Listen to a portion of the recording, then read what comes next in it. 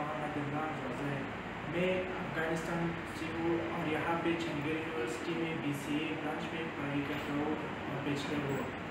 और मैं, मेरा आज लास्ट डेट है इंटर्नशिप का सी प्लस प्लस में ये ई एम आई टेक्नोलॉजी में। सो यहाँ पर यहाँ का स्टाफ और मैनेजमेंट बहुत अच्छा है और you can also join us